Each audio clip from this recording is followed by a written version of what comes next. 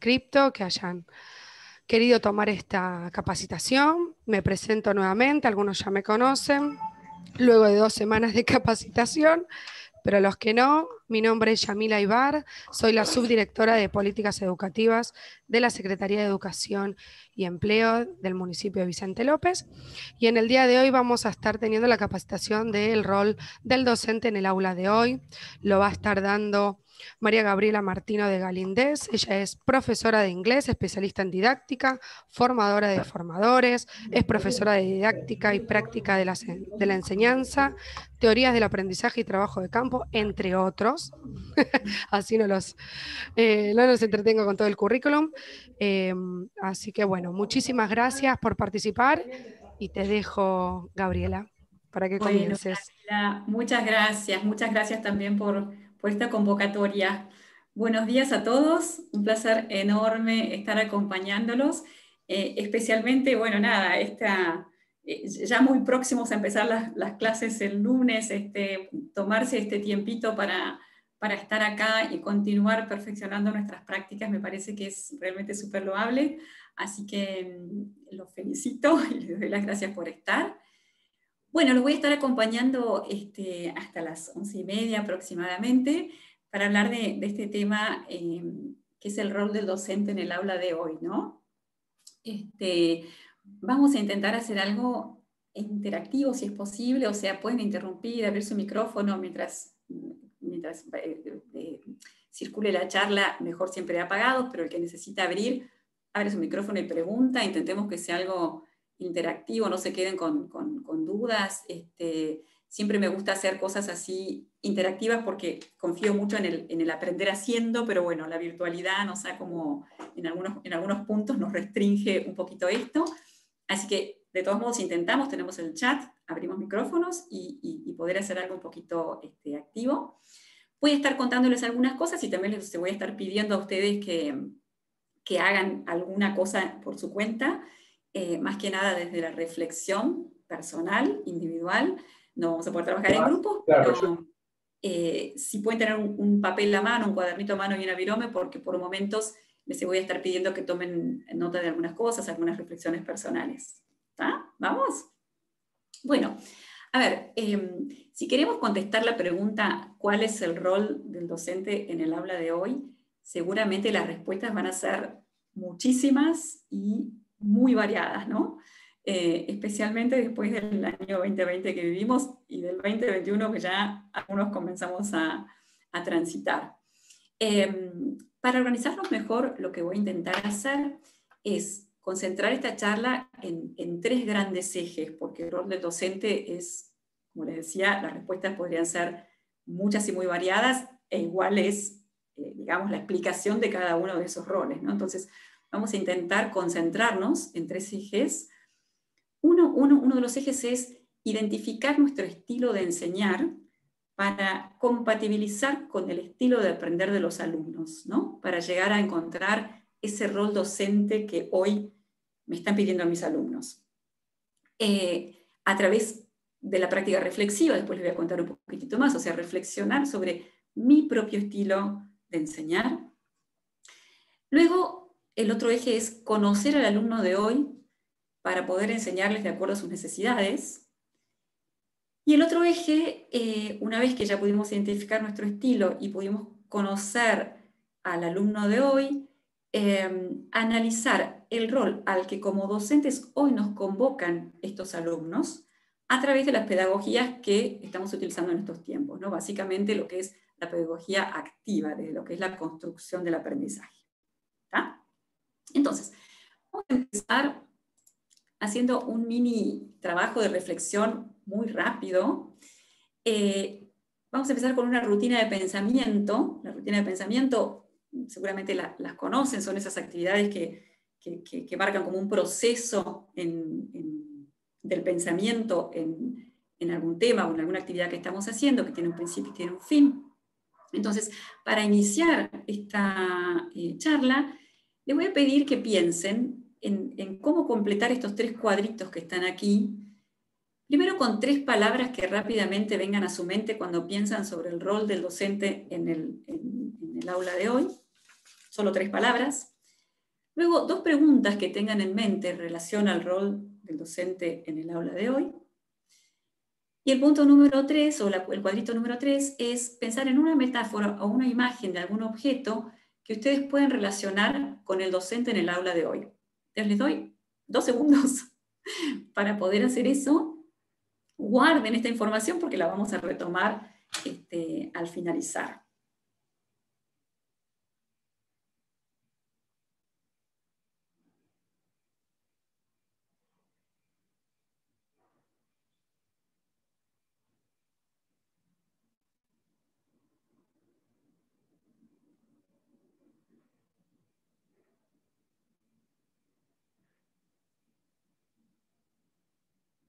Bueno, ya algún disparador este, seguramente pudieron pensar, no lo vamos a compartir, como les dije, es, su reflexión personal, pero sí guárdenlo porque, como les decía al principio, la idea es que cada uno pueda pensar en sí mismo, ¿no es cierto? Identificar sus propios este, estilos, hacer, hacer reflexiva su propia práctica, entonces todo lo que vayamos anotando, vieron que si no a veces las ideas nos quedan como en el aire, todo lo que podemos ir registrando en la docencia siempre nos viene súper bien. Entonces, les voy a, les voy a, vamos a continuar, pero guarden ese registro. ¿Vamos? ¿Vamos bien? Bueno, a ver, em, nuestros alumnos de hoy, ¿no? ¿Cómo son nuestros alumnos de hoy en estas distintas edades? Cada uno piense en el alumno que, va a tener este año enfrente, en el que tuvo el año pasado, en la experiencia, no sé, la, la mayor cantidad de años que he tenido con determinadas edades de alumnos. Y piensen en aquellos alumnos entonces que llegan hoy a nuestra aula, que están ahí frente a nosotros, esperándonos. Muchos me podrán decir que son iguales a los que van a la escuela año tras año, y esto en algún sentido es verdad, hay como una generalidad que, es igual a todos, pero también es verdad que son muy diferentes entre sí, ¿no es cierto? Porque viven en un mundo distinto. Los chicos de hoy, 2021, son distintos a los del 2020, son distintos a los del 2019 y ahora con la pandemia mucho más, ¿no es cierto? Entonces, generación Z, generación Y, sea como sea que los, que los querramos llamar, lo importante es detenernos y disponernos a, encontrar, a encontrarnos nosotros con lo que ellos son y con la realidad en la que están viviendo, que por supuesto también es la nuestra, ¿no es cierto? Este es como un punto de partida súper importante, ¿no? Tenemos que ser capaces de abrirnos, de acercarnos a nuestros alumnos para conocerlos y así poder guiarlos en su camino de aprendizaje. Si no, es como muy difícil. Entonces, este es el punto de partida. No sé si quieren compartir en el chat, les doy unos segunditos, em, alguna, alguna palabra que pueda identificar a sus alumnos estos que van a tener enfrente o que tuvieron enfrente por, por un tiempo el año pasado o en años anteriores. No encuentro el chat por aquí. No sé si soy yo.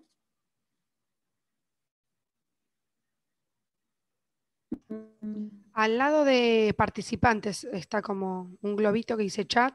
Capaz si lo tenés como medio minimizado. No, no, directamente no lo tengo, pero no se preocupen. A ver si escribo algo Perdón, sale. Perdón que interrumpa, pero mientras que estás presentando pantalla no te deja acceder al chat, me parece. Ah, es ah, verdad. Puede ser eso. No importa, no importa, está bien. Si ustedes pueden ir compartiendo para que ustedes mismos se vayan nutriendo con lo que van este, escribiendo, está bueno. Si querés yo te lo voy diciendo, voy leyendo el chat. Dale, a ver, a ver. Bueno. A ver qué va surgiendo. Eh, dice energía, pequeños adultos, diversidad.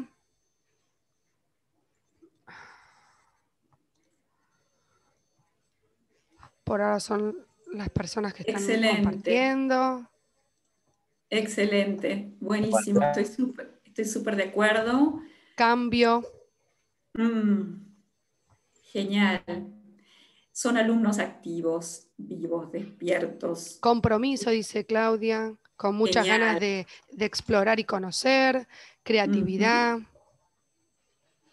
Excelente, muchas gracias. Muchas gracias, Yamila. La lista seguramente es, es muy extensa. Em, son alumnos que están en movimiento intelectual permanente, ¿no es cierto? Tienen acceso a la información de muchas formas, de forma muy rápida, entonces eso los hace ser intelectualmente muy activos, eh, tienen deseos, investigan, tienen iniciativas, se cuestionan, son curiosos, exploradores, bueno, y seguramente este, muchas más de las cosas que ustedes este, han puesto, ¿no?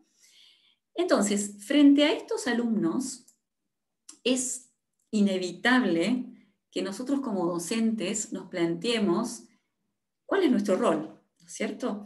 Y esto que, esto que ustedes fueron poniendo en el chat y esto que les fui contando, nos han llevado a una reconceptualización del modelo docente, que es inevitable, seguramente están todos de acuerdo conmigo en esto. Entonces, a través de esta práctica reflexiva a los que los estoy invitando, vamos a llegar a, a conocer muy bien cuál es este rol que nuestros alumnos nos están pidiendo, ¿no es cierto? Partiendo de muchas preguntas disparadoras, por ejemplo, ¿cómo aprenden los alumnos de hoy? Algunas, algunas este, de las formas de aprender salieron en el chat. Está mirando es el más apropiado para Les pedimos por favor que silencien sus micrófonos al ingresar. Muchas gracias. Discúlpame, Gabriela. no, por favor.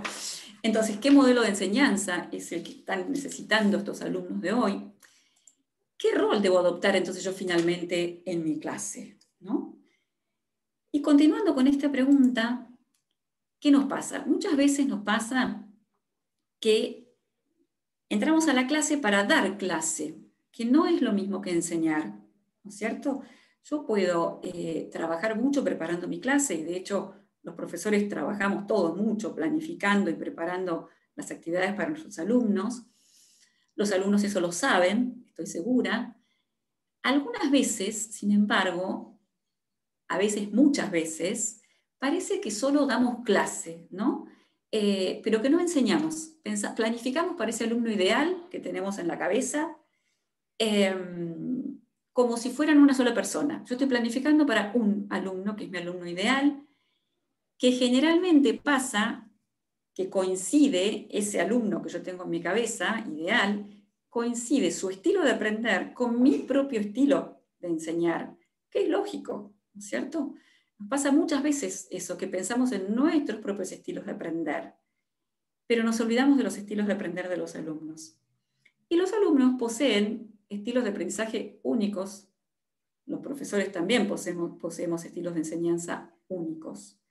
Esos estilos de enseñanza se clasifican de acuerdo con las preferencias personales de cada uno, ¿no es cierto? Que están generalmente caracterizados por nuestro estilo, por nuestro ritmo, por nuestras propias inteligencias, ¿cierto? Este, por nuestras propias habilidades que tenemos más desarrolladas que otras. Entonces nos pasa que entramos a la clase pensando que todos los alumnos van a aprender de la forma que yo enseño. Hay una autora que, que yo siempre cito que me gusta mucho, que se llama Margaret Ferrara, es una autora americana, una pedagoga americana, que habla de una teoría que ella denomina goodness of fit, que es como las bondades de la compatibilización.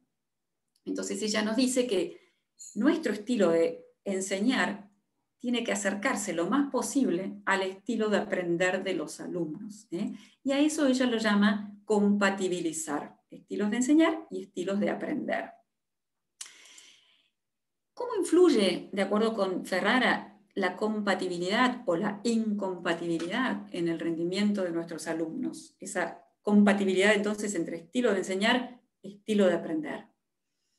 Ella citando a Joyce, miren, 1894, estas son cosas que pasan hace muchísimos años. Uno dice, bueno, son cosas nuevas. La verdad que no, son cosas que hace muchos años que están, pero a veces no las reflexionamos o, nos cuesta romper nuestro propio paradigma.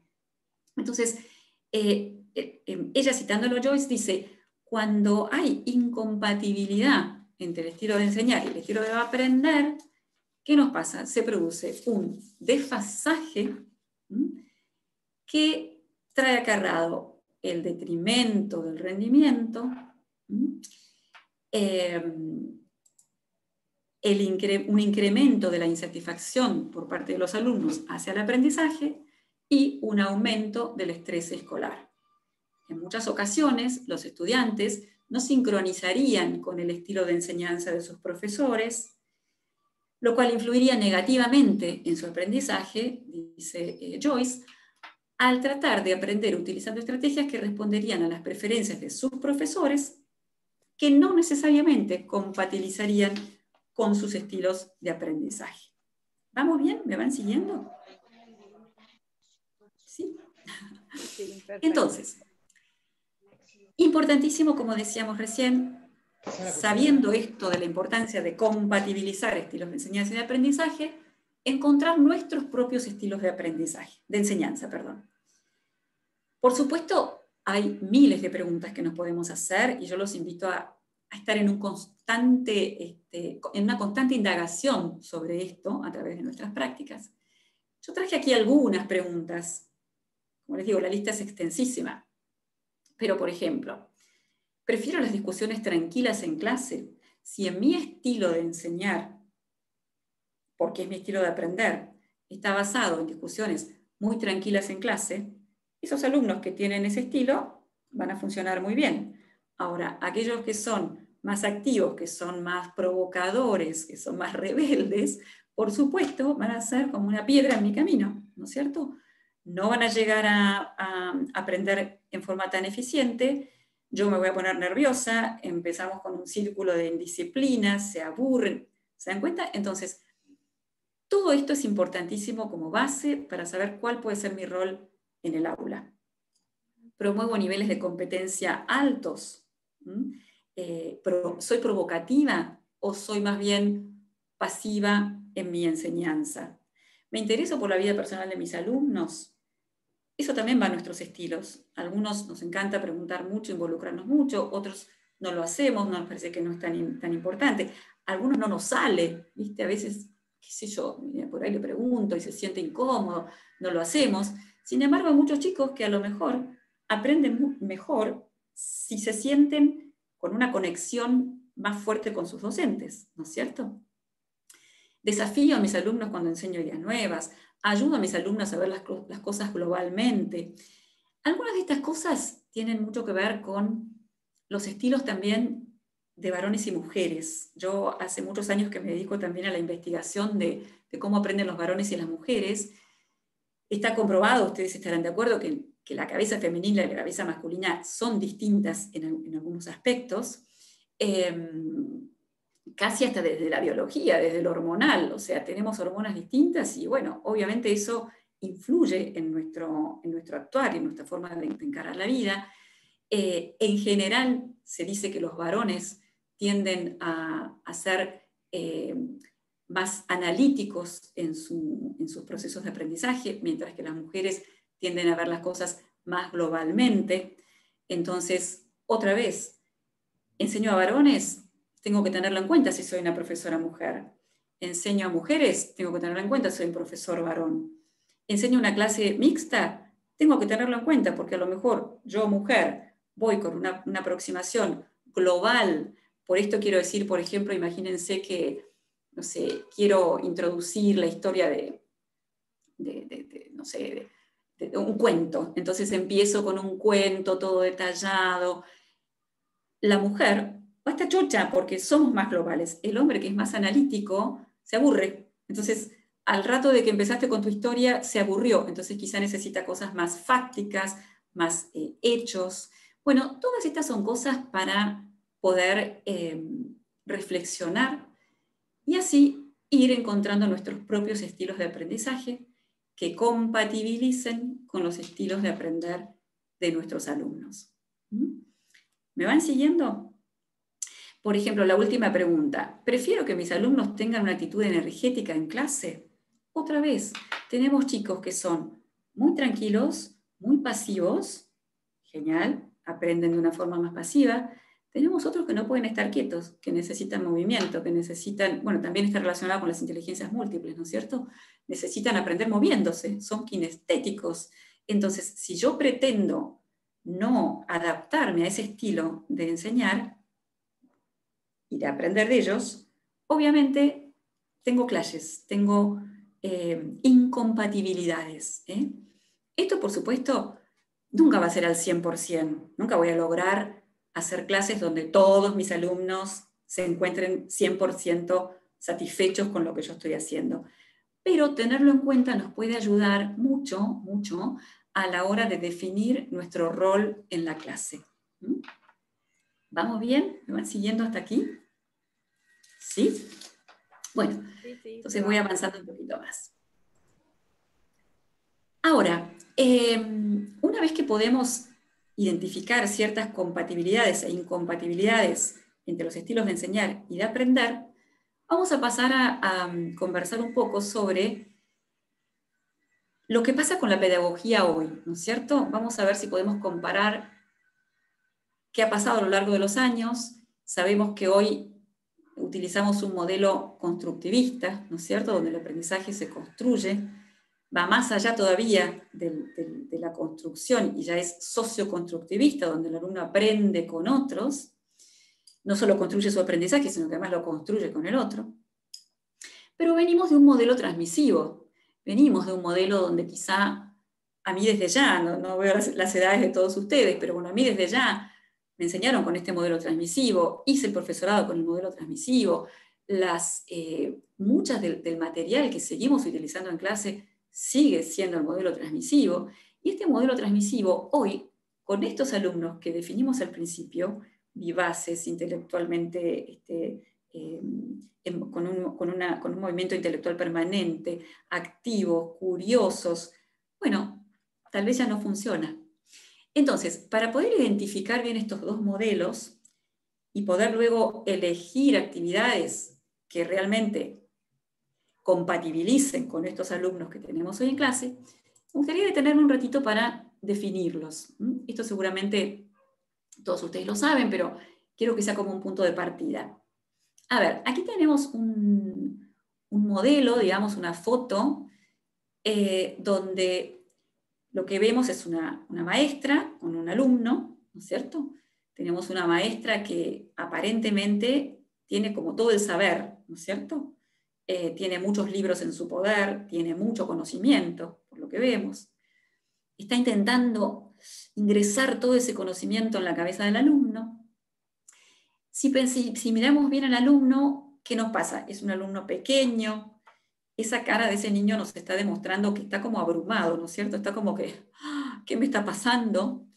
Em, si vemos un poquito su cuerpo en detalle, está como tenso, ¿no es cierto? Está como duro, rígido, está sorprendido, está intentando soportar el embate de tanto conocimiento que su maestra le está intentando este, hacer entrar en su cabecita.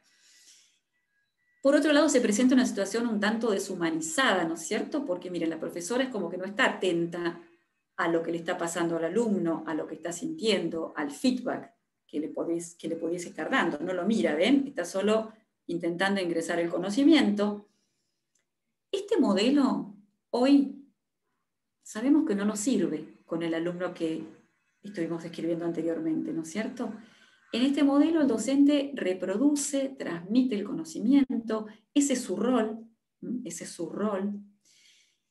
Y el sentimiento es, a más conocimiento transmito, mejor profesor soy. Cuanto más saber tengo y más eh, eh, transmito, soy mejor.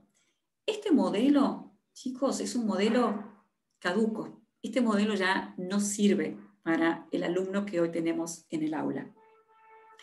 Entonces, paso a otro modelo, que es este modelo eh, opuesto, digamos, al, que, al que acabamos de describir, del modelo transmisivo.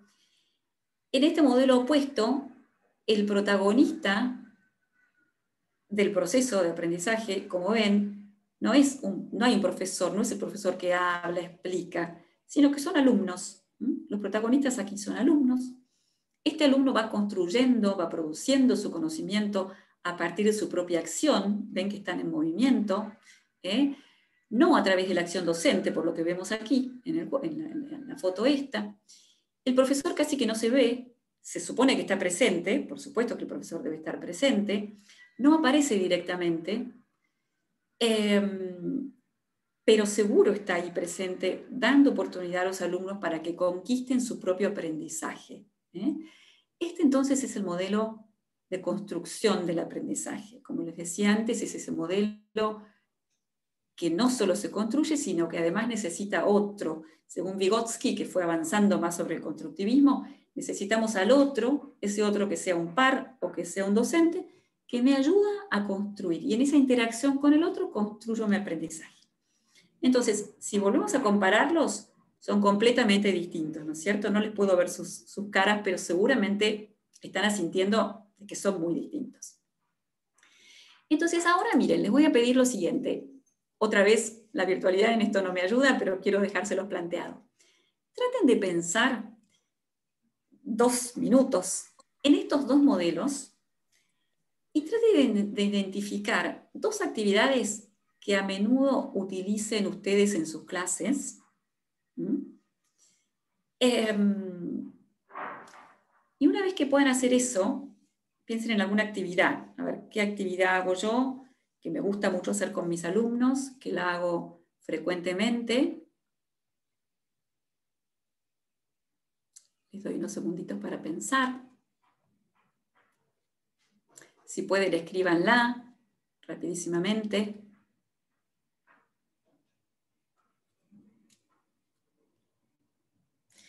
Y con esa información, ahora los voy a desafiar a pensar lo siguiente. Esas actividades o esa, esa actividad que ustedes pensaron, ¿las identifican como pertenecientes al modelo transmisivo o al modelo constructivo? Otra vez reflexión personal. ¿Pertenecen al modelo transmisivo? ¿Me identifico con la profesora que está ingresando el conocimiento por el embudo? ¿O me identifico más con el profesor que está como escondido? ¿Mm? ¿Con qué frecuencia la llevo adelante en mi clase? Esa actividad que a mí me gusta tanto. ¿Con qué frecuencia la llevo adelante? ¿Mm?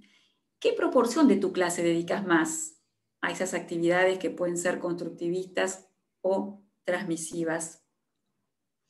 Esto significa que yo debo dejar de lado totalmente esa actividad más transmisiva que a mí me guste, que la, considero necesaria? No, no estoy diciendo eso. ¿eh? No estoy diciendo que el modelo transmisivo no nos sirve más. Estoy diciendo que es un modelo caduco y que si solo lo utilizamos, no compatibilizamos con el estilo de aprender de nuestros alumnos. Lo que no significa que yo por momentos pueda seguir utilizando algunos, algunas actividades de ese modelo. En educación, a mí me parece que, pero es mi propia visión, ¿eh? que nada tiene que ser completamente descartado, ¿no es cierto? Si hay variedad es muchísimo mejor. Si yo me apoyo en mis logros, que quizá puede ser esa actividad que quizás es más transmisiva, pero que para mí es un logro, que para mí es eficiente, me apoyo en ese logro y luego veo cómo me empiezo a mover hacia un modelo distinto. Eh, pero nada queda descartado, ¿saben? Entonces, esto no significa que yo solo tengo que hacer actividades socioconstructivistas, no quiero que me malentiendan, ¿eh? pero si solo hago actividades que responden al modelo transmisivo, bueno, mi rol como docente quizá no llega a compatibilizar con el estilo de aprender de mis alumnos. ¿Se dan cuenta? Entonces, ahí otra vez les dejo la semillita de, de la reflexión. ¿Eh? de que cada uno vaya visualizando sus propias prácticas. ¿Mm? ¿Vamos bien? ¿Podemos eh, seguir? Sí, bueno, un poquito más sobre el modelo eh, constructivista, que es este modelo, como decíamos, que es, el modelo que nos están invitando las últimas investigaciones, si bien esto data de también mucho tiempo, otra vez, los paradigmas que tenemos en educación que nos cuesta tanto romper, por suerte en el 2020, es mi parecer, ¿eh? por suerte el 2020 nos ayudó a romper de, un cachetazo muchos paradigmas que teníamos, eh, que por ahí, no sé, nos costaba, ¿viste? Por, o por miedo, por, no sé, o por falta de tiempo, eh, nos costó, nos, venía costando romper, ahora el 2020 nos sacudió y hemos tenido que salir a seguramente hacer las cosas este, distintas. Entonces, este aprendizaje por construcción que, nos están planteando las últimas corrientes de educación, ¿de qué se tratan? A ver, este aprendizaje por construcción, primero que nada, es un proceso que es ordenado y dinámico, porque a veces nos parece que, bueno, no sé, eh, trabajamos con un proyecto que es, por supuesto, construcción de por sí, ¿no es cierto? Per se. y nos parece que, bueno, que es desordenado, porque no sé, quizá, qué sé yo, yo la he escuchado muchas veces a Rebeca Nijovic, que seguramente la, conocen. Rebeca dice, bueno, es el proyecto empieza con una ruta de aprendizaje que comienza y no sé cómo termina. Entonces uno dice, ay, en nuestro esquema docente, que somos así como tan esquemáticos, uy, pero entonces yo no sé este proceso cómo termina, los chicos van a aprender, eh, va a ser un lío, cómo me voy a manejar. No se trata de un desorden. Quizá hay un desorden al principio, pero el constructivismo nos invita a un proceso ordenado, pero que también es dinámico, ¿eh? que se va construyendo ladrillito tras ladrillito. Pongo un ladrillito, le pongo el cemento, dejo que solidifique, vuelvo a poner otro ladrillito, eh, dejo otra vez que solidifique, voy armando como un andamiaje, el alumno va armando, va armando un andamiaje, ¿vieron las obras de construcción que tienen un andamiaje? No es que los chicos los largamos solos en la obra y se pueden caer al precipicio. Hay un andamiaje, van peldaño por peldaño, los vamos acompañando y así el aprendizaje se va construyendo a través de un proceso ordenado, pero también dinámico, un proceso que crece. También el aprendizaje por construcción es vertebrado y consistente. ¿eh? También es otro temor que podemos tener, en, por ejemplo, vuelvo a un proyecto. Eh, bueno, entonces no sé, voy avanzando y después tengo que retroceder y cómo los chicos van a aprender y van a terminar aprendiendo realmente, sí, se va a terminar aprendiendo, pero se va construyendo, ¿no? El primer día no va a ser vertebrado y consistente, ¿no es cierto? Pero esa construcción del aprendizaje hace que, que luego, cuando, cuando el aprendizaje termine, se transforme en esto, algo vertebrado donde todas las piecitas han encajado y que tenga consistencia. ¿Quién es el constructor? El constructor es el alumno. Él es el que está peldaño por peldaño, ladrillo por ladrillo, construyendo su aprendizaje. Hay que tener precaución porque esto es un aprendizaje de una persona en construcción. Está, por supuesto, centrado en la persona porque es el protagonista del aprendizaje, pero se va construyendo y a veces nuestras propias eh, ansiedades como docentes nos limitan y nos preocupan. Porque, uy, otra vez, che, mira, no está aprendiendo tanto, o la mamá te dice, este chico no está aprendiendo nada, y entonces, o la directora, miren, otra vez, en construcción. Por eso, miren, la precaución, pare, ¿eh? como en las obras o como en una calle que está en construcción, pare, deténgase, espere. Esto está centrado en la persona, la persona lo está construyendo, lleva su tiempo y tengamos todos paciencia y paremos las ansiedades. Y luego, ¿quién preparó este proyecto? Porque hablamos mucho del alumno, el alumno protagonista, pero ¿quién prepara el proyecto? El proyecto, por supuesto, lo prepara el docente, ¿no es cierto? Nosotros somos los arquitectos de este eh, aprendizaje por construcción, pero no subimos, a ver, subimos la montaña con nuestros alumnos, pero no la subimos por ellos. ¿Se dan cuenta? Ellos construyen su aprendizaje, nosotros lo vamos acompañando. Entonces, por supuesto, ya estarán de acuerdo conmigo en que este aprendizaje por construcción, donde el alumno es el protagonista, indefectiblemente hace que el docente de hoy adquiera un nuevo rol. Ya ese rol transmitivo donde teníamos todo el aprendizaje y lo, le abríamos la cabecita a los chicos y se los metíamos, no va más. Entonces, si continúo un poquito y hablamos del docente de hoy, de qué hace este docente hoy, que es el que facilita y ayuda a los alumnos a construir su aprendizaje, bueno, nada, otra vez, adquiere un nuevo rol, ¿no es cierto? Entonces, la clase tradicional, en la que el docente se concebía como el poseedor de conocimiento y lo transmitía a un grupo de silenciosos estudiantes, ya no es una opción válida para la educación de las nuevas generaciones, de estos alumnos que hoy tengo frente a mí en el aula. Las nuevas generaciones están ávidas de, cambiar el mundo, de darle valor y dignidad a sus vidas. Y todavía esperan, lamentablemente muchos de ellos esperan todavía con, una admirable paciencia que nosotros los adultos los ayudemos en ese proceso. Quieren que esa escuela a la que van todos por rutina, por obligación, la verdad que los chicos van por obligación a la escuela, de una vez por todas les diga cómo hacer que les entregue las herramientas que pertenecen a cada generación, que les muestre las estrategias esas secretas de, la vida en sociedad y que les permita usarlas como mejor les parezca, no como solo les parezca a los, a los adultos, ¿no es cierto? Entonces nos encontramos frente a docentes que algunos autores llaman facilitadores de aprendizaje, otros llaman activadores, van un poquito más allá de la facilitación. Un docente que pase de una enseñanza general a una enseñanza individualizada, esto que decíamos al principio, no puedo tener una planificación para un alumno ideal. Hoy tengo una planificación para varios alumnos o al menos para un grupo de alumnos. Puedo identificarlos por grupos. Este grupito sé que son más visuales, este otro grupito sé que son más eh, kinestéticos, estos otros sé que les interesa mucho que yo me involucre con ellos de manera personal. Entonces, en mi planificación voy intentando individualizar esa enseñanza para, hacerla, para hacer el aprendizaje más eficiente. Pasa de una enseñanza basada en la exposición y la explicación a una enseñanza más basada en la integración y en la construcción. Pasa de trabajar con los mejores estudiantes a trabajar con grupos diversos, como decíamos recién, a tener programas individualizados, que ya no son tan globales, sino que están más individualizados. Pasa del énfasis en la transmisión verbal de la información, que nos encanta, que es lo que yo estoy haciendo hoy, ojalá pudiera estar frente a ustedes para que ustedes también puedan participar mucho más, al desarrollo de procesos de pensamiento.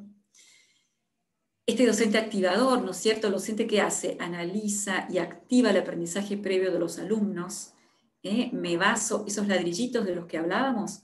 Pongo un ladrillo, le pongo el cemento, luego el próximo ladrillo lo baso sobre el conocimiento que ya mis alumnos tienen, ya adquirieron, y presento el nuevo y vuelvo a esperar que el ladrillo eh, se solidifique, ¿se dan cuenta? Entonces, así los ayudo a conectar con el nuevo material, con los nuevos conocimientos.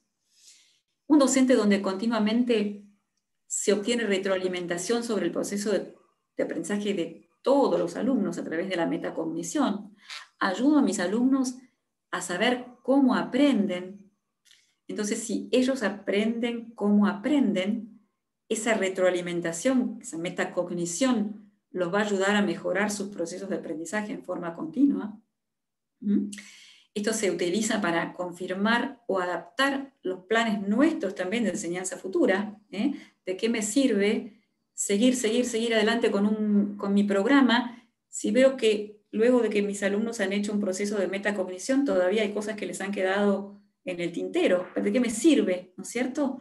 Entonces, espero, otra vez, con paciencia, dándoles tiempo, espero, vuelvo sobre lo eh, enseñado, les doy más tiempo.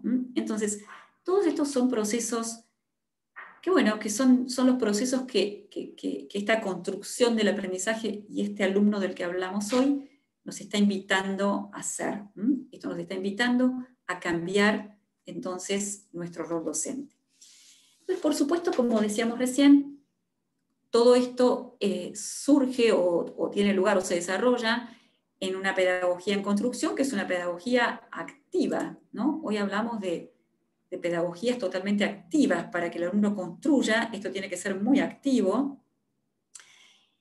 Y aquí quiero introducir el legado de John, de John Dewey, otra vez, chicos, 1940, John Dewey. O sea, eso yo a veces cuando lo pienso digo, sentimos que son cosas todas nuevas, pero esto data de hace mucho tiempo, quizá no les prestamos atención o como dije anteriormente, nos cuesta romper los paradigmas o estamos inmersos en nada, en la cotidianeidad de lo que tenemos y no llegamos a poder reflexionar sobre estas cosas. Entonces, miren, ahora lo que quiero hacerles para introducirlos en la pedagogía activa es, voy a leer un, legado de, John Dewey, eh, y les voy a pedir que tengan la, mente en las prácticas de cada uno. Y mientras leo, sería buenísimo que, traten de, seleccionar tres ideas de esto que les voy leyendo que ustedes consideran valiosas y que les gustaría ponerlas en práctica. Probablemente no me las van a poder comunicar, pero otra vez, escríbanlas, tengan su propio registro. Entonces, seleccionen tres ideas que consideren valiosas y que quisieran ponerlas en práctica. Y luego, cuando tengan un ratito más de tiempo, em, para cada idea que pensaron, también piensen en una actividad que les permita llevar esas ideas a la clase. No nos quedemos solo en el mundo de las ideas. Esta idea que tengo la llevo a la práctica, ¿eh? que es la única forma de mejorar la praxis. Praxis e ideas eh, en sintonía. ¿Vamos bien? ¿Sí? Bueno, entonces, les leo este artículo. La finalidad de la educación es ayudar al niño a resolver los problemas que surgen de su contacto habitual con los ambientes físico y social. Por este motivo, el punto de partida de la enseñanza escolar deben ser actividades comunes en las que el niño se sienta directamente comprometido.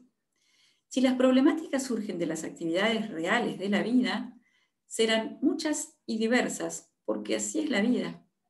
El hecho de convivir amplía las experiencias, enriquece la imaginación y educa. En este proceso, el educador se convertirá en un activador del aprendizaje, reduciendo las ocasiones en que ejerza su autoridad a voluntad personal. En cambio, responderá a los intereses del grupo con acciones que sean de interés para todos sus alumnos. Esto requerirá adaptaciones y modificaciones de los diseños curriculares nacionales a nivel interno de su colegio, de su escuela. Para lograrlo, será necesario que el maestro conozca las capacidades, necesidades y experiencias pasadas de sus alumnos y permita que las sugerencias y aportes que hacen sus pares se desarrollen en planes y proyectos organizadas en un todo por los miembros de su grupo de trabajo. Este es el pensamiento de Dewey. Entonces, mis alumnos, mis pares, trabajando en conjunto sobre esto. De esta manera, el plan de clase adquirirá calidad de trabajo cooperativo y no de imposición. A través de esta pedagogía activa o por descubrimiento, los niños reproducen actividades de la vida cotidiana por medio de un proceso metodológico de descubrimiento, indagación, que es también una reflexión, y experimentación, por ensayo-error, asociado a las relaciones productivas de la vida colectiva, lo cual permite conocer a su comunidad y a su cultura y llegar a adquirir conocimientos y habilidades significativas. Entonces, espero que hayan podido seleccionar aunque sea tres ideas que les hayan llamado la atención o que quisieran poner en práctica, que puedan pensar una vez que las anotaron en alguna actividad que pueda llevarlos a, llevar a, poner esas ideas en prácticas en la clase. Esto les quedará como una tarea quizá para el hogar, este, pero quería plantearlo porque, como les dije, necesito que esto baje a la clase no nos quedemos en el mundo de las ideas. Una mini, mini aclaración sobre esto que les leí de los diseños curriculares nacionales, ¿no es cierto? En un momento dice, esto requerirá, o sea, estar atentos a, qué intereses tienen mis alumnos, a qué experiencias tienen mis alumnos en su vida real, requerirá adaptaciones y modificaciones de los diseños curriculares nacionales. También probablemente de, eh, de algunos lineamientos que tengamos nosotros en nuestra propia escuela, ¿no?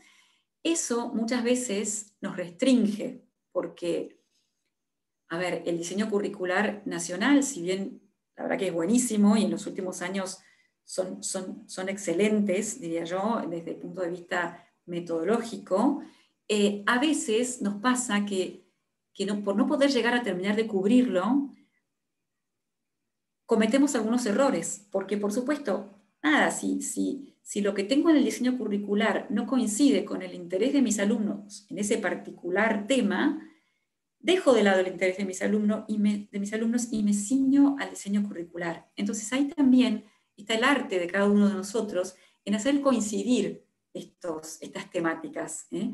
Esta temática que tengo en el diseño curricular que, tengo esa limitante, ¿no es cierto?, de que lo tengo que cumplir, eh, de que me recomiendan cumplir y que además están buenísimos, tengo que ver siempre la forma de unirlo ¿a qué traen mis alumnos? ¿A qué intereses este, se relacionan con este tema de, mi diseño curricular? ¿eh? Entonces eso es un permanente ejercicio también que tenemos que hacer, que a veces nos sentimos un poquito tironeados, ¿vieron? Porque nada, esta sensación de que tenemos que cumplir, que tenemos los docentes muy grabadas, este, y, que, y que por el otro lado está bien, porque es lo que tenemos que hacer, ¿no es cierto? Pero bueno, siempre ir buscando ese equilibrio, ese equilibrio sin dejar de lado a mi grupo de alumnos, que va a ser distinto mi segundo grado A al segundo grado B y al segundo grado A de otra escuela. El segundo grado A de mi, escuela de, de, la ciudad va a ser distinta a mi segundo grado A de una escuela que es más rural. ¿Se dan cuenta? Entonces, ahí está también el arte nuestro, otra vez, de ver cómo compatibilizo mi estilo de enseñar, eh, mis, contenidos con el estilo de aprender de mis alumnos y los intereses de ellos. ¿eh? Entonces ven cómo el rol va como adquiriendo distintos perfiles. Por eso les decía, si pensamos en el rol de docente de hoy, hoy ah, es, inmensa la cantidad de cosas a las que podemos decir. Por eso quise ceñirme en tres ejes este, principales. ¿Vamos bien? ¿Seguimos adelante? Vamos. Entonces, a ver, siguiendo un poquito con las pedagogías activas, bueno, ¿qué nos pasa? Pedagogías activas. Hablamos de pedagogías activas y decimos, ay Dios mío, tantas cosas, tengo que construir el aprendizaje, el chico tiene que ser el protagonista, eh, los peldaños, tengo que armar el andamiaje, tengo que también dejarlo que aprenda con otros. ¿Cómo hago? No? Nos agarra como el ataque de ahora para dónde voy. A ver, las pedagogías activas, ¿qué nos dicen? Tenemos un docente que guía, como ya estuvimos viendo, eh, nos invita a la indagación permanente por parte de los alumnos, nos invita a integrar el conocimiento, a desarrollar capacidades, cooperación, pensamiento crítico, visibilizar el pensamiento, etcétera, etcétera, etcétera. Nos, nos invita también al autoconocimiento nuestro, al autoconocimiento del alumno, la regulación emocional, qué pasa con aquel chiquito que nada, tiene algún problema emocional y hoy sabemos que las emociones nos atraviesan por completo y entonces simplemente si tiene un problema emocional no aprende, o sea, también me tengo que ocupar de eso. Em, la evaluación continua informativa, esto es, en este proceso de construcción, como decíamos recién, la metacognición, yo tengo que estar permanentemente evaluando si los chicos aprendieron, no aprendieron. Entonces la, evaluación se transforma en formativa, no es solo sumativa. Tengo que ir paso a paso, viendo, evaluando cómo va el proceso. Eh, tengo que poner todo lo que hago, todos los espacios este, de aprendizaje al servicio del tiempo y el espacio de aprendizaje que tengo en mi escuela. ¿eh? Entonces, son muchas, muchas las cosas que las pedagogías activas nos están pidiendo hoy. Sumado, chicos, a todo este esfuerzo del año 2020 y del 2021 que se nos viene complejo también. Entonces, a veces los docentes hoy yo creo que nos sentimos como abrumados, agobiados y decimos, ¿y ahora qué hago? Bueno, ¿ahora qué hacemos? Empezamos de a poco. Empezamos de a poco, empezamos paso a paso, no querramos hacer todo de golpe, no querramos comernos una torta entera, la torta la vamos a ir comiendo de, a pedacitos para no empacharnos y que nos sintamos mal. Em, entonces, a ver, empezamos de a poco, pero empezamos sabiendo que nuestro rol del docente de hoy está totalmente unido al alumno de hoy, de ese alumno que hoy sabemos que tiene que ser protagonista. ¿Qué significa que el alumno sea protagonista? ¿Qué significa? Bueno, miren, significa primeramente que el alumno está en el centro del aprendizaje. Y esto es una revolución total y cuesta, obvio que cuesta, nada, nada de esto es fácil, ¿no es cierto? Ustedes seguramente ya lo están experimentando desde hace un tiempo. Este debe ser el punto de partida, el alumno como centro del aprendizaje. Es el centro y el fin, es el principio, el centro y el fin de todo lo que hacemos en la escuela. Esto también lo dice este, Dewey. Parece muy obvio decirlo, ¿no es cierto? Pero bueno, no es tan sencillo vivirlo. Seguro que no es tan sencillo vivirlo. Tenemos alumnos distintos, con talentos e inteligencias diversas, con distintos modos y estilos de aprender. Alumnos únicos, como decíamos hace un rato. Por todo esto, centrarnos en ellos es una tarea, una tarea bien difícil. Em, nos lo proponemos todos los días, yo sé que todos ustedes se lo proponen, pero bueno, con el correr de los días, o a veces dentro del mismo día, dentro de la misma clase de un día, em, sin darnos cuenta, nos desenfocamos y, nos encontramos, por ejemplo, más interesados en cumplir a toda costa con lo, lo que nos propusimos cuando planificamos nuestra clase ideal o en transmitir determinados contenidos colocando en el centro el proceso del saber, otra vez, el libro, el saber, o teniendo un currículum uniforme para todos que trata a todos los alumnos por igual. Entonces eso nos desenfoca. Y así son numerosas las veces en que el alumno no está en el centro del aprendizaje. Y poner al alumno entonces en el centro significa verlo, escucharlo, poder respetar sus tiempos, sus procesos, sus ritmos, permitirle hacer su camino depositando toda la confianza en él, sabiendo que él lo va a lograr a su ritmo, teniendo también para él expectativas muy altas, expectativas altas para todos, pero apuntando siempre a que pueda dar el máximo de lo que puede. No todos pueden llegar igual, no podemos tener una misma vara para todos igual, cada uno lo iremos acompañando y también acompañándolos en sus equivocaciones, ¿no es cierto? Porque bueno, se van a ir equivocando mientras vayan construyendo su aprendizaje. Pero ahí vamos a estar nosotros para ir acompañándolos en el proceso. Tenemos también un docente entonces que guía, que facilita. El docente es aquel que recibe al alumno en la escuela, lo hace sentirse en su casa. Eh, es a su vez quien lo invita cada día a descubrirse, lo orienta a un crecimiento personal. Ese crecimiento siempre va a requerir de nuestra ayuda, de la ayuda docente. Él es entonces quien lo conduce por un camino trazado que no es igual para todos. Es un camino que va a ser siempre distinto y cada alumno deberá también ir descubriéndolo con nuestra ayuda. El docente hoy es el líder, seguimos siendo los líderes de nuestra clase. No podemos pensar en una clase sin un docente, seguimos siendo los líderes, pero en este, en este contexto es un líder que diseña, que convoca y que acompaña las experiencias de aprendizaje, ¿eh? no que verbalmente expone todo el tiempo. Es quien facilita, quien provee estructura, ese andamiaje para que el aprendizaje sea posible y es un buscador abierto a lo nuevo que continuamente está pensando qué hacer en sus clases, qué ir presentando a sus clases. ¿eh? Como les decía antes, ayuda al alumno a subir la montaña, pero no lo subimos por ellos, no la subimos por ellos. Es, un, es un, eh, este alumno protagonista es también un alumno que indaga permanentemente, esa indagación que es preguntarse, eh, al preguntarse estamos poniendo permanentemente al alumno en el centro del aprendizaje, porque él es quien busca, quien explora, quien descubre, quien conoce, así va construyendo su conocimiento.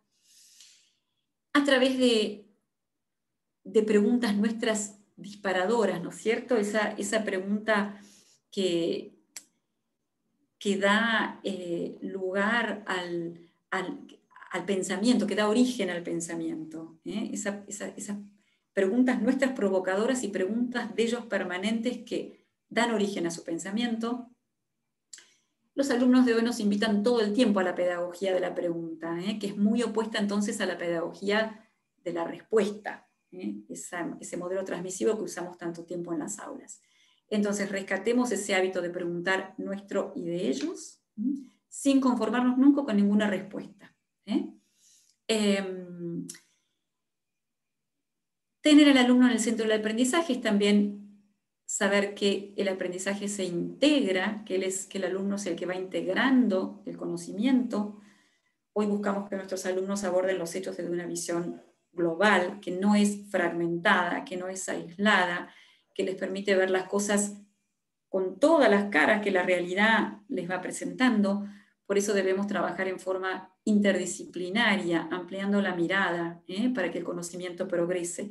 Por eso hablaba hace un tiempo de los proyectos. Los proyectos son como la herramienta ideal para hacer esto, ¿no es cierto? Porque es esa mirada interdisciplinaria. Desde las distintas disciplinas el proyecto se va armando y el alumno va teniendo esa mirada completa de la realidad. Em, un alumno que es protagonista que también tiene que desarrollar sus capacidades al máximo. ¿eh? Hoy sabemos que el, conocimiento está compuesto no solo, como dijimos, de, contenidos, sino también de capacidades. ¿eh? Esas capacidades serán los vehículos para el conocimiento. a ver, con el, contenido solo no vamos a ningún lado necesitamos luego ponerlos en práctica. Si pensamos en los chicos que están saliendo hoy del colegio, que están adquiriendo, no sé, un trabajo nuevo, necesitan millones de herramientas, no solo digitales, sino eh, habilidades eh, humanas, habilidades de todo tipo, para transmitir esos contenidos de alguna forma. Si no, solamente con recitarlos no van a ningún lado. Entonces, contenidos más capacidades como el, vehículo que nos permite adquirir los contenidos. Capacidades hay millones y hoy no, nos vamos, no quiero detenerme en esto, pero bueno, desde, la, desde aprender a cooperar, a colaborar, a desarrollar el pensamiento crítico creativo, comprender, analizar, evaluar procesos, elegir, elegir. Muchas veces no les enseñamos al alumno, a los alumnos a elegir y ese alumno protagonista puede elegir. A veces a veces hasta les decimos subrayen con un color especial. Esto lo subrayamos con colorado. O sea, cuando el chico tiene que elegir, por supuesto, entre dos actividades que hacer, está como perdido porque no les hemos enseñado. Entonces, enseñarles a elegir, a resolver problemas, a imaginar, a inventar. Bueno, muchas, este, muchas cosas que tienen estos alumnos protagonistas. El autoconocimiento, como hablamos un poquito hace un rato, ¿no? la capacidad de, de conocerse a ellos, la metacognición de sus propios aprendizajes, que pueden hacer visible lo que aprenden todo el tiempo, cómo lo aprendo, con qué estrategias lo aprendo, em, la capacidad de la regulación emocional, que ellos también aprendan a conocer sus emociones, que aprendan a registrarlas, que aprendan a, regularlas. Hoy estoy enojado y entonces voy a aprender así porque estoy enojado, pero bueno, mañana seguramente voy a estar mejor y voy a aprender de otra forma. Enseñarles todos esos procesos también tienen que ver con ese alumno protagonista, ¿eh? que dista mucho de ese alumno que la maestra, se acuerdan en el modelo transmisivo, ni miraba, no le miraba ni la cara. Entonces, ¿cómo voy a saber si ese chico está aprendiendo si no sé ni siquiera cómo se está sintiendo? La evaluación formativa y continua, ya hablamos un poquito de eso, ¿no? de esa necesidad de ir permanentemente apoyándonos en lo que el alumno ya sabe y de ahí partir hacia los nuevos conocimientos con ese alumno protagonista. Y luego otra cosa que también es importantísima, que nos va a venir también muy bien ya, los que, bueno, no sé si ustedes ya, la mayoría seguramente no comenzó las clases, pero los que ya comenzamos en Ciudad de Buenos Aires, esta flexibilización, de, flexibilización del tiempo y del espacio al servicio del aprendizaje. Esto lo venimos escuchando desde hace un tiempo, no sé si, si lo han escuchado, por ejemplo, a Montserrat del Pozo, eh, de Horizonte 2020, hablando de este flexibilizarnos en tiempo y espacio.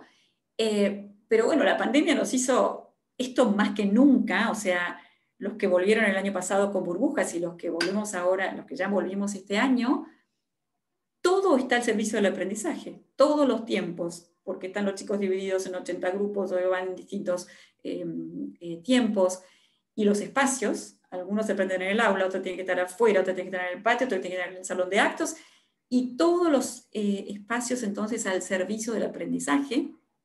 Esto creo que ya los hemos aprendido, lo hemos aprendido, pero otra vez, buscar eso, buscarlo, porque a veces si nos quedamos siempre en el aula, em, los privamos a los chicos de, de, estar en otros espacios donde a lo mejor aprenden determinadas cosas mucho mejor que en el aula. Entonces, salgamos, salgamos al pasillo, salgamos al, patio, siempre por supuesto dentro de nuestras posibilidades, ¿no es cierto? Pero em, muchas veces la escuela, la clase, tienen horarios, calendarios rígidos que nos expresan siempre tiempos muy fragmentados, ¿no es cierto? Y, entonces las actividades de clase nos quedan como truncadas por el timbre. Uy, sonó el timbre, chao, no vamos y, y a la otra clase empiezo otra cosa nueva y no pude terminar lo que estaba haciendo. Así, los tiempos escolares son los que nos van definiendo las actividades de aprendizaje sin respetar los tiempos propios de las actividades. Y acordémonos que el tiempo propio de las actividades lo tiene este alumno protagonista, este alumno que está en el centro. Entonces, para lograr aprendizajes más profundos, tenemos que permitirnos que esos estilos, que esos ritmos de aprender de nuestros alumnos definan los tiempos, eh, los, tiempos de aprendizaje y no al revés. Démonos libertad para eso, animémonos. También ofrezcamos tiempos flexibles. ¿eh? Usemos todos los espacios disponibles en la escuela, todos los espacios que, tengamos, todo puesto al servicio de los alumnos y de su aprendizaje. Algunos autores, miren, llaman al, espacio, lo llaman el, tercer educador, ¿eh? y dicen que, un espacio que está bien pensado, que está condicionado, genera bienestar físico y emocional. ¿eh? Y muchas veces el entorno como que cambia nuestra conducta ¿eh? y modifica nuestro cerebro. Entonces, hoy nos toca crear esos espacios que estimulen la mente y que eviten el estrés. ¿eh? Hoy más que nunca seguro que esto ya lo hemos aprendido a la fuerza, pero lo aprendimos. Sigamos este, por ese camino. Pero bueno, todo esto que les dije y muchas cosas más que, están relacionadas con, el, alumno como protagonista, ¿cómo llegamos a balancearlo? ¿Cómo hacemos? ¿Cómo llegamos a, desaprender algunas cosas para aprender todo esto? ¿no? Es como que tenemos que hacer lugar en nuestro cerebro de algunas cosas para que otras cosas puedan ingresar. Entonces, miren, como les decía, eh, de a poco, esto hay que ir, a, ver, ocupándose de a poco, eh, sin prisa, pero sin pausa. Y ahora quiero compartirles un caso que es un caso eh, que se llama Aprender a desaprender. Es un caso real que, me tocó vivir en un, colegio donde yo trabajaba. Estábamos haciendo unas capacitaciones sobre estas metodologías nuevas, ¿no? innovación y, esto de poner al alumno en el centro, y especialmente hicimos un, curso eh, sobre el aprendizaje colaborativo, cooperativo, eh, cómo hacer para que los alumnos trabajen en grupo, para que aprendan unos de otros, este, qué herramientas poner a disposición. Bueno. Entonces, eh, luego del curso, yo ingreso al aula de este profesor que se llama Miguel. Bueno, Miguel había planificado una clase buenísima con estas este, eh, actividades de cooperación muy presentes este, en su plan. Pero resulta que, bueno, sobre la marcha no pudo, no las pudo llevar a cabo. Entonces, el caso dice lo siguiente. El caso se llama Miguel se sale del guion. El guion era su planificación. En la preparación de su hora de clase, Miguel planificó intencionalmente que hoy sus alumnos trabajen en parejas, porque tiene muy presente que el trabajo cooperativo en el aula contribuye al desarrollo de valores y competencias. Además, es una estrategia que todo el profesorado del colegio quiere utilizar luego de que hicimos un curso recientemente para todo el personal sobre aprendizaje cooperativo.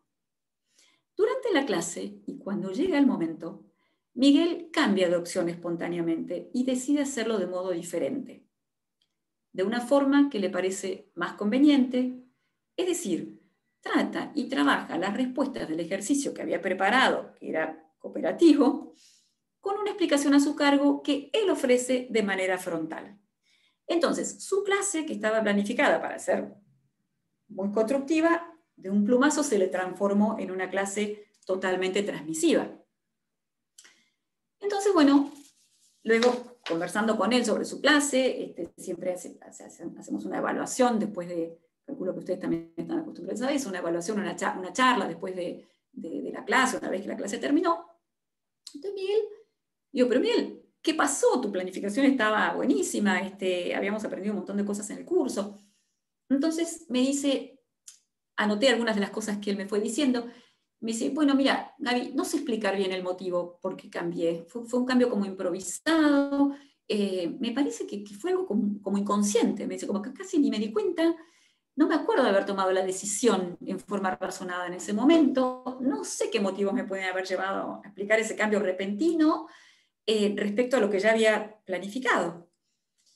Pero bueno, ahora que pienso con vos, le empiezo a dar vueltas y, bueno, se me ocurre que a lo mejor influyeron en mí algunos sentimientos que todavía no pude racionalizar muy bien. Estabas vos ahí viendo mi clase, me sentía como que tenía miedo, eh, tuve, tuve miedo que, a que perdiera el control, ah, tuve miedo de no ser capaz de poder replantear las consignas este, después de que hicieron su trabajo cooperativo, me dio inseguridad sobre el resultado, dije, ay, si esto sale mal, va a estar Gabriela, Entonces me decía después, si reflexiono sobre mi estilo docente y mis creencias, me pasa lo siguiente. Yo entiendo todo el trabajo colaborativo y te juro que hago un esfuerzo, pero me pasa lo siguiente. Estoy acostumbrado a trabajar con todo bajo control. Y siempre necesito tener un dominio de mi clase. Necesito que los grupos estén dominados, que todos estén haciendo lo que yo estoy pidiendo que hagan, porque si no como que me da, me da temor, me vuelvo loco. Me siento incómodo, tengo que gestionar la incertidumbre. Gaby me dice, yo trato de evitar la incertidumbre al máximo en la clase, porque viste que hoy los chicos te pueden salir con cualquier cosa muy inverosímil. Y entonces, mira, si me salían con algo raro en la clase que yo no podía contestar, y no sabía la respuesta, ¿qué hacía? Vos estabas mirando. Y además me dice, yo soy un buen profesor, pero bueno, no soy un mago que tengo que saber siempre con qué me van a salir eh, mis alumnos y me tengo que responsabilizar de su aprendizaje, soy responsable. Ahora que reflexiono y que pienso, me dice, quizá el cambio puede estar relacionado con algunas experiencias mías anteriores, donde hice una vez una tarea en grupos y, bueno, y se me, al principio me fue muy bien, pero después, ¿sabes qué? Nada, se me descontroló todo Em, los chicos como que no, claro, se divirtieron un montón, lo pasaron bomba, pero a mí me pareció que no habían aprendido nada, Gaby. Entonces, nada, decidí, nada, inconscientemente cambiar. Además, me dice hace años que trabajo en este colegio. Yo eh, trabajo mucho, me encanta mi, trabajo, estoy redispuesto a innovar, como todos mis colegas. En ese sentido, quédate tranquila, me dice que vamos todos a una, ¿eh? todos queremos. Pero hay ocasiones en las que no puedes llegar a todo. Gaby me dice, este, y quieras o no quieras, tenés que elegir a veces entre innovar o terminar el programa.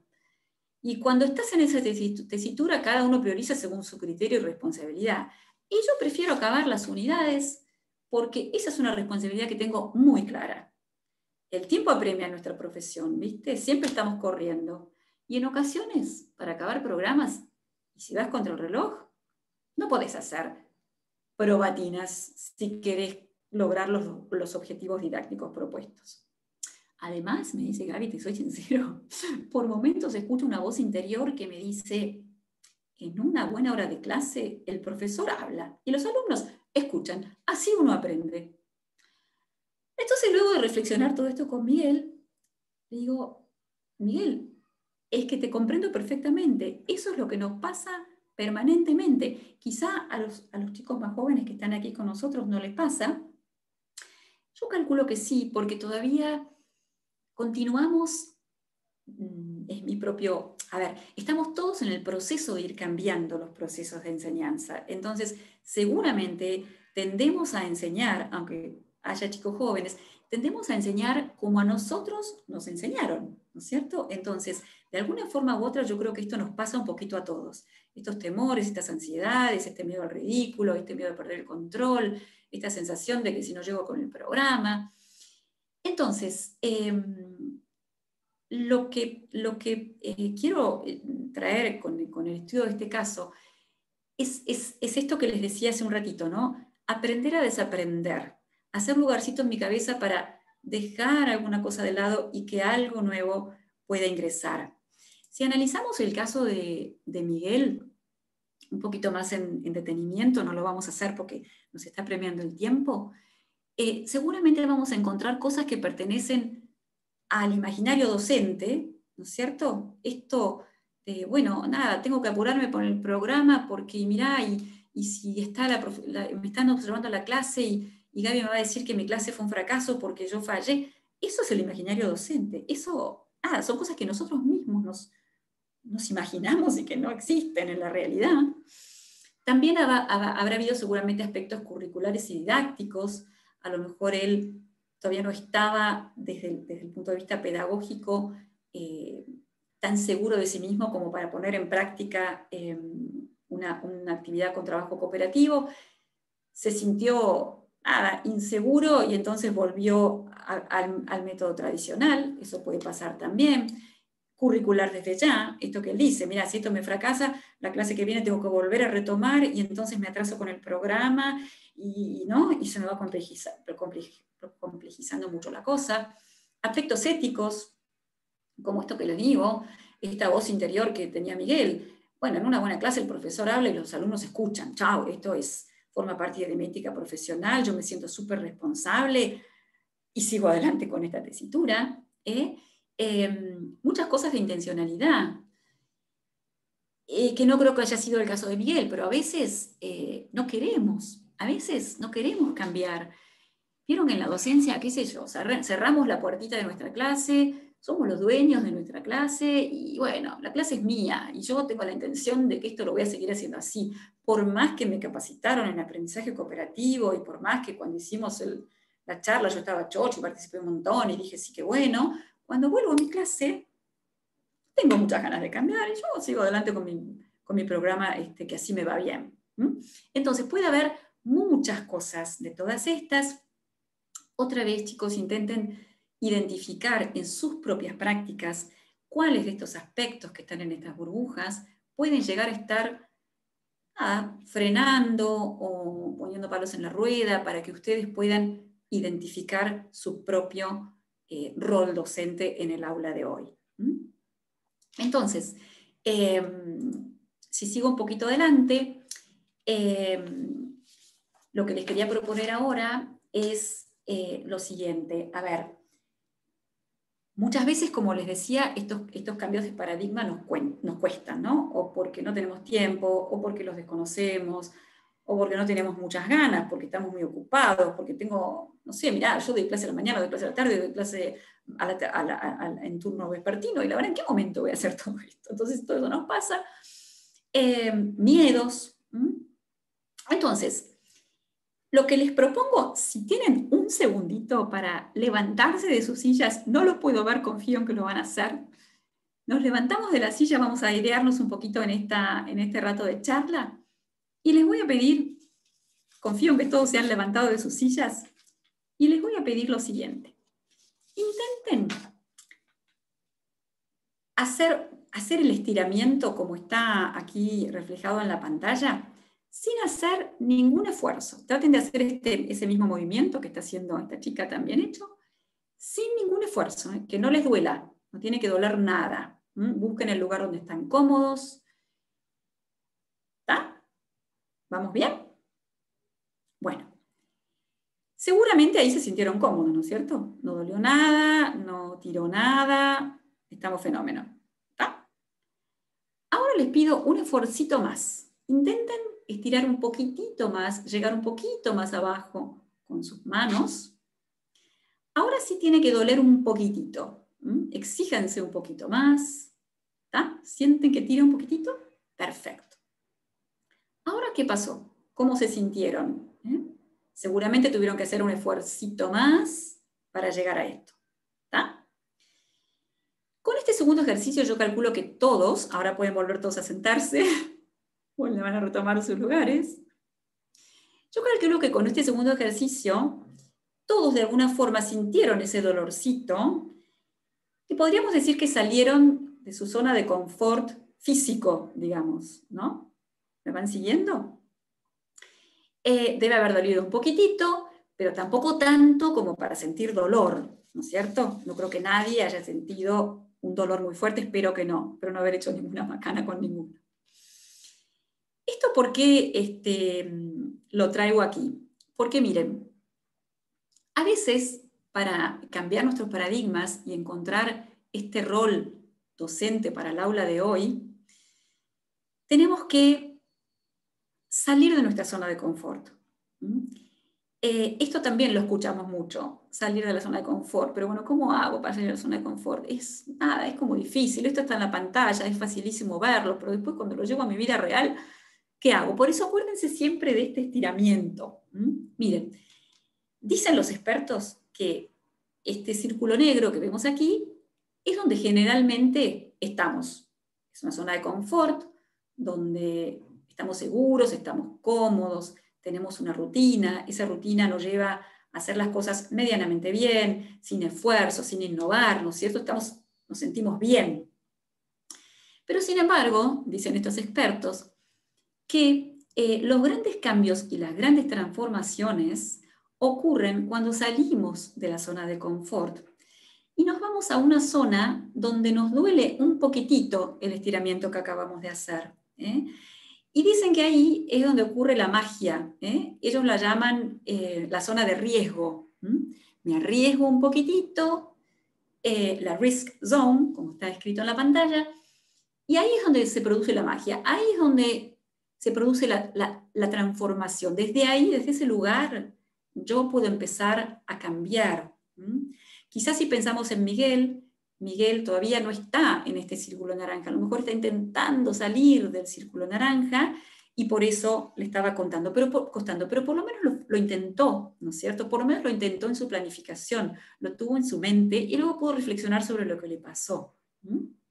Y después hay otra zona que es el, círculo rosa, que es the panic zone, que sería como la zona de pánico, ahí, a esa zona, nos dicen los expertos, no tenemos que llegar, nunca tenemos que llegar. Eh, y tampoco pedirle a la gente que está con nosotros a nuestro alrededor, o al menos a los alumnos, a que lleguen allí. Porque allí es donde nos desanimamos, nos motivamos, nos creemos incapaces y donde nadie quiere estar. Por eso les decía para llegar a encontrar nuestro rol con algún cambio de paradigma, vamos despacito, paso a paso, porción por porción comiéndonos la torta. Si nos queremos comer la torta entera, nos vamos a la, zona de pánico. Y una vez que estemos en la zona de pánico, nos va a agarrar un ataque y entonces vamos a querer volver a nuestro modelo de, de aprendizaje transmitivo, que no es el que hoy necesitan nuestros alumnos en la clase. Entonces, siempre mantenernos en esta zona eh, de, riesgo. ¿eh?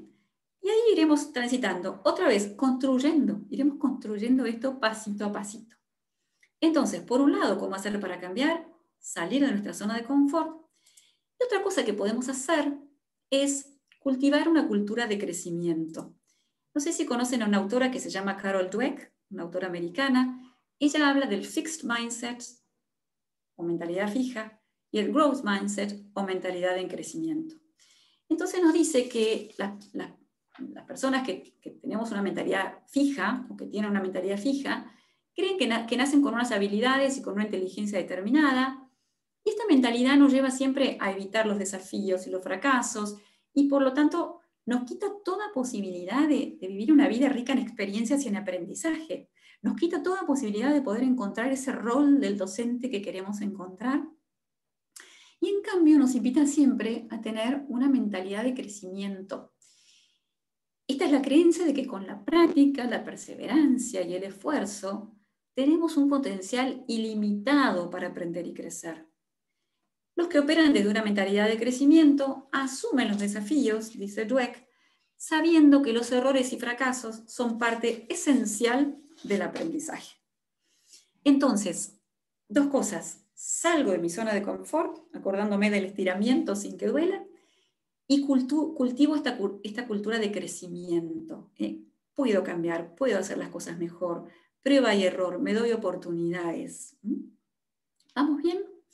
Ya sé que estoy un poquito pasada de tiempo, pero eh, Yamila, Caro, ¿podemos cinco minutos más? Bueno, eh, el, el el que, el que tenga que salir sale, pero bueno, así un poquitito más. Entonces, em, para retomar un poquito y cerrar ya eh, esta charla, como hemos visto entonces, el rol del docente de hoy es bastante distinto al rol del docente de, hace unos años. Los alumnos de hoy, la tecnología, el acceso a la información, eh, requiere de nosotros un rol muy activo, de permanente acomodamiento, a esta realidad que vivimos. Entonces los invito ahora a seguir pensando en la reflexión como esta forma permanente de mejorar nuestras prácticas. Muchos nos hablan de innovación, ¿no es cierto?, de cambiar, pero como hemos discutido a lo largo de este curso, no es tan fácil romper paradigmas. La práctica reflexiva nos invita a potenciar ese potencial didáctico que todos hemos adquirido a través de nuestro estudio, a través de nuestra experiencia, y desarrollar todas las posibilidades que esto nos presenta para ser cada día mejores educadores. Y el cambio está en nosotros. ¿eh? El cambio está en nosotros. Muchas veces esperamos que nos capaciten, que nos digan qué hay que hacer, esperamos los lineamientos curriculares que nos determinan las formas de, abordar los procesos de enseñanza-aprendizaje. Entonces nos puede pasar lo que le pasa a este profesor que está en pantalla, ¿no? que, que creemos que sabemos toda la teoría y que un poquito es lo que le pasó a Miguel, y que sabiendo la teoría todo va a suceder. ¿no? Este profesor dice, tiene a todos sus alumnos en fila y dice, estimados maestros, con estos nuevos programas se acaba la era de las cátedras, de los pupitres en fila y de las clases ex cátedra. A ver, todos repiten conmigo, se acaba la era de... Por supuesto que repitiendo con él no vamos a cambiar nada. ¿eh? Sí sabiéndolo y luego, como dije en varias oportunidades, llevándolo a la praxis. ¿no? Entonces, ¿quién lidera la innovación educativa en nuestra escuela? ¿Quién tiene que encontrar ese rol del docente? ¿eh? Eh, mi escuela, el diseño curricular, mi directora, o soy yo quien tengo que hacerlo. ¿eh? Si estos proyectos de innovación y de praxis no van de la mano, ¿cuál es el resultado institucional? Casi ninguno, ¿no es cierto? Entonces, otra vez, piensen algunas frases típicas, algunas, algunos elementos típicos nuestros que actúan en la práctica como esos elementos detractores de poder encontrar eh, nuestro rol docente, que nos alejan de ese rol docente al que nos convocan nuestros alumnos de hoy. Entonces, los voy a dejar con un poquito de, tarea para el hogar. Y creo yo que, que, a lo largo de la charla seguramente ya pudieron identificar muchos detractores, espero que así haya podido ser. Entonces este será el puntapié de mejora para, para bueno, encontrar este, nuestro rol como docentes en el aula de hoy para satisfacer las necesidades de nuestros alumnos. Y ya sí, para terminar, vuelvo a la actividad de la rutina de pensamiento que hicimos al principio. La idea aquí sería, una vez que ya escucharon la charla, que espero que haya sido de, de utilidad, puedan completar ahora la columna que agregué aquí en la derecha con los mismos tres pasos tres palabras, dos preguntas y una imagen o una metáfora que asocien con el rol del docente en el aula de hoy luego de haber escuchado todo lo que escuchamos. Ven el puentecito y que vean si ese puente sirvió para cambiar su pensamiento sobre el, concepto del rol del docente de hoy, qué los ayudó a cruzar el puente. bueno, espero que, todos hayan podido este, cruzar este puente conmigo y solo decirles muchas gracias este, por estar allí. Y si tenemos un ratito, Yamila, Carolina, podemos abrir a preguntas, a comentarios. Este, lo dejo en sus manos, chicas. Sí,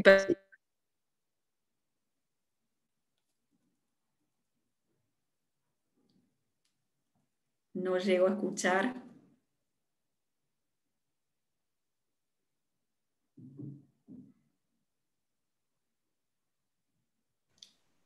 Ahí te están escribiendo mucho en el chat, este, mm, para que no sé si vos lo podés llegar a ver. Si dejas de compartir pantalla, capaz que. ¿Querés que te, ¿querés que te lea?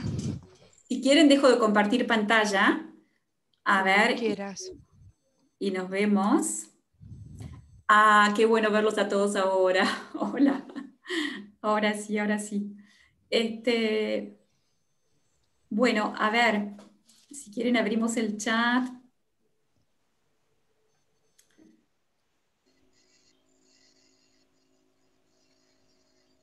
Bueno, preguntas no encuentro, chicos, pero o si quieren abrir el micrófono, este, me pongo a disposición. Mientras tanto, les deseo un súper comienzo.